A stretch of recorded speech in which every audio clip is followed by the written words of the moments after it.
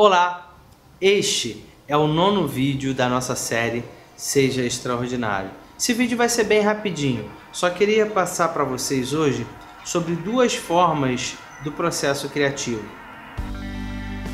Basicamente, o processo criativo ele é responsável para criar, traçar é, as estratégias para você alcançar os seus objetivos e os seus sonhos.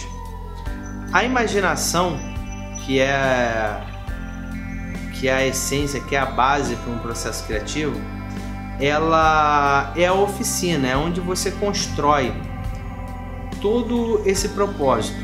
E o cérebro, ele, ele vai é, criando essas estratégias para deixar esse caminho mais eficiente.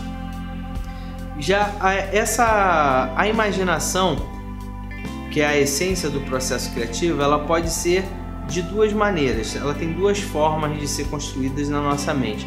A primeira é a imaginação objetiva, que organiza, ela organiza e reúne as ideias, ideias, conceitos e fatos que você já tem na sua mente e faz uma nova combinação. É, muito raramente alguém cria alguma coisa do nada. Tá? Praticamente tudo que conhecemos na civilização atual é, foi criado pelo processo de imaginação, é, pela imaginação objetiva.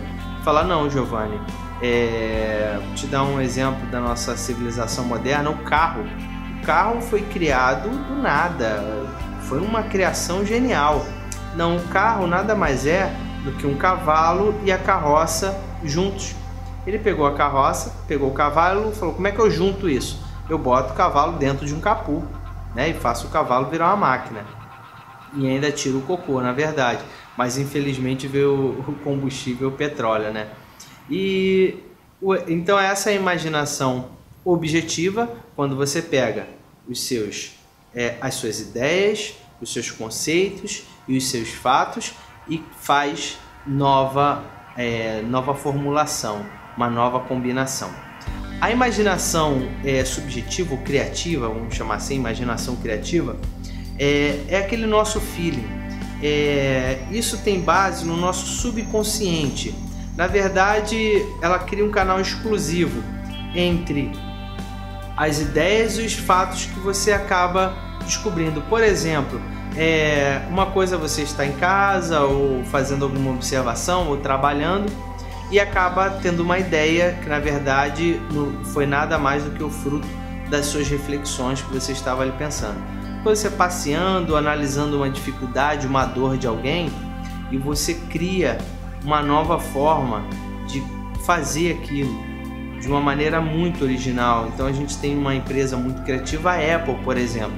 Né? A gente estava acostumado com dezenas de botões. Ou então, por exemplo, não vou nem falar do processo material tecnológico, vou falar, por exemplo, do iTunes, né, que modificou a maneira como ouvimos música, assistimos filme, filmes ou até é, documentários e o que for. Então, assim, isso é um processo criativo, subjetivo, uma imaginação criativa. Então, e aí a gente fala assim, ah, Giovanni, mas eu, então não tem mais nada para ser construído, não tem mais nada para ser criado. Eu não acredito que exista mais nada. Eu já pensei isso também. Nossa, eu olho para um lado, já existe carro, já existe celular, já, já existe casa, já existe avião. Não tem mais nada para ser construído. Sempre há. E se você pensa dessa maneira, então o seu lugar é sentado num banco, como espectador, e não como protagonista.